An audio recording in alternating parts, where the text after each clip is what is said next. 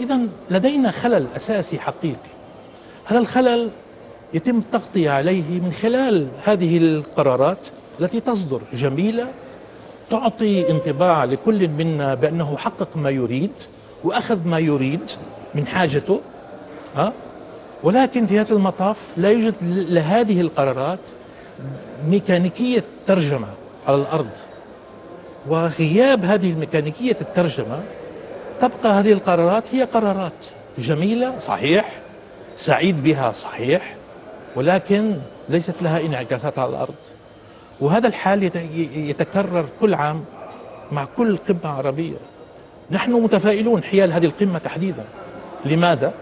لعدة أسباب. أولا لأن التوقيت مهم جدا. أزمات ضربت بنا حقيقة.